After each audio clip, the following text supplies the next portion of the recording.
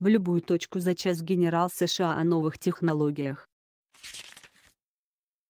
Источник изображения Gazeta.ru в США заявили о возможности доставки человека за час в любую точку.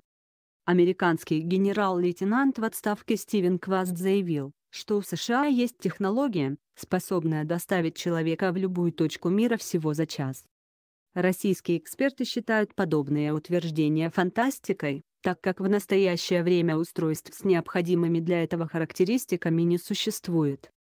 Американский военный рассказал, что в США есть технологии, способные доставить человека в любую точку планеты менее чем за час. Как передает издание The Drive. Такую информацию сообщил генерал-лейтенант военно-воздушных сил ВВС США в отставке Стивен Кваст, выступая с лекцией в колледже Хиллсдейл, округ Колумбия. Он отметил, что революционная американская разработка потенциально может сделать существующие аэрокосмические возможности устаревшими. Эта технология может быть построена сегодня как технология, которая не связана с развитием уже существующих технологий, чтобы доставить любого человека из любого места на Земле в любое другое место менее чем за час, сказал он. Вместе с тем СМИ подчеркнула, что генерала, который выступал перед студентами колледжа, рекомендовали на должность главы космического командования военно-воздушных сил Соединенных Штатов. Издание отмечает, что слова Кваста прозвучали на фоне других заявлений, которые в последнее время делают представители военного руководства Соединенных Штатов. В частности, американские военные говорят, что США могут оказаться на пороге большого скачка в сфере транспортных технологий.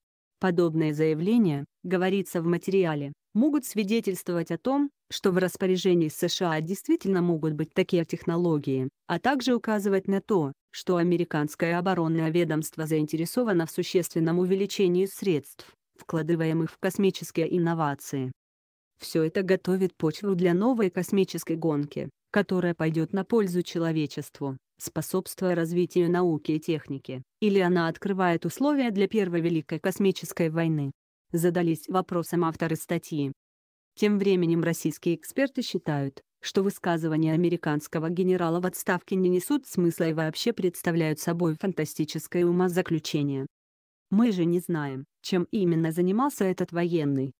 Среди них, например, много людей с травматизмом головы, контузиями.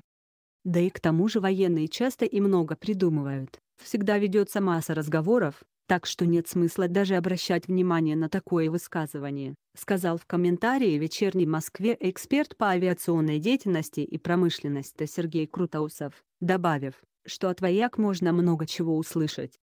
В свою очередь инженер, руководитель работ в области создания ракетно-космической техники Александр Железняков обратил внимание, что на сегодняшний день таких технологий не существует и он не может комментировать заявления из области фантастики, отмечает российская СМИ. Вместе с тем, KP.ru пишет, что Кваст ушел в сентябре в отставку из-за того, что неоднократно делал подобного рода высказывания, разглашая информацию о секретных технологиях.